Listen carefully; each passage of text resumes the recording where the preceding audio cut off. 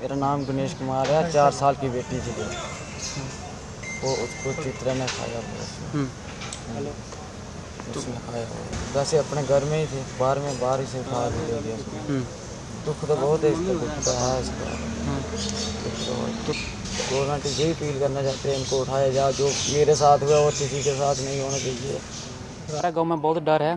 देखिए जैसे हमारी जो लड़की है वो शुशु के लिए बाहर गई है। तो पास से ही उठा के ले गया।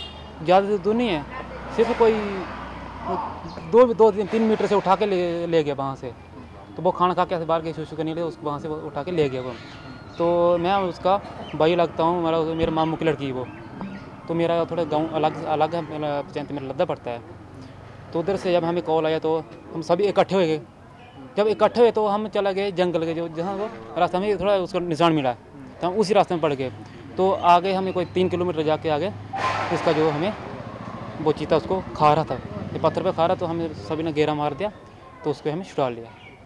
देखो, पूरे पूरे सदमे हैं। जितने भी है ना, पूरे गाँव में इतना दुख है ना तो जब कोई उधर जाएगा ना मौके पे उधर देखेगा क्या हालत हो रहा है उन लोगों का। हमें बहुत दुख है ना, जैसे हमारी बहन और बच्चा एक जैसा होता है। हम यही मांग करना चाहते हैं, जो तेंदुए उधर आए हैं, ये नहीं पता हमें छोड़े गए हैं या कहाँ से जंगली आए हैं, मगर ये, हमें जंगली लगता नहीं है हमें। जैसे हमारे ऊपर सरपंच साहब ने बोला, दो तीन बार उसने हमला किया। बस जब हमारे आशा साहब गए हैं, तभी उसने हमला किया हमारे पे। तो उधर बहुत अभी डर सा छाया हुआ है, अब किसी पे भी अटैक करना चाहता है, हम यही मांग करना चाहते हैं, उनको जल्दी जल्दी जल्दी वहाँ से पकड़ा जाए।